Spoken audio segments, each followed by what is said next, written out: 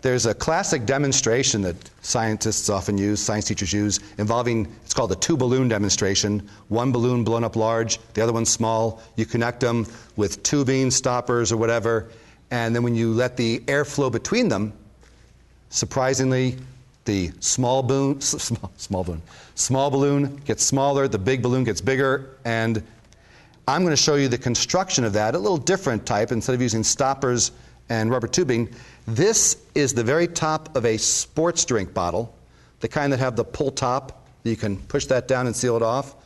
And it's very convenient. I've got the cap here, and that's, of course, the very top of the bottle.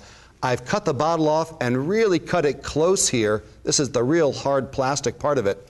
I've done that twice, and these two then can be just taped together with some electrician's tape. This has already been used, but it should still do the trick. And you just want to get a nice airtight seal there, but electrician's tape is very forgiving in that way. So you could glue them if you want, but that is enough. Now, how you use this, and if these balloons wear out, no big deal, you just get new ones, and they, they kind of fit nicely over the little pull top.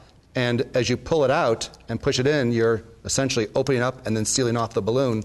And you do that on both sides, and you're good to go.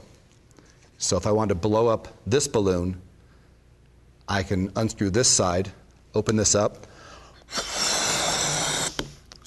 and like that, and it's closed off. And then it's kind of strange, but if I want to blow up this one now, and my mouth is only going on a part of the plastic that's nice and smooth and meant for a mouth to go onto. So.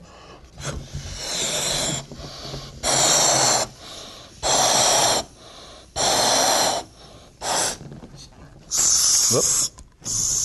There we go. And then you would just do the demonstration like this open up one side, open up the other. Okay? Thank you.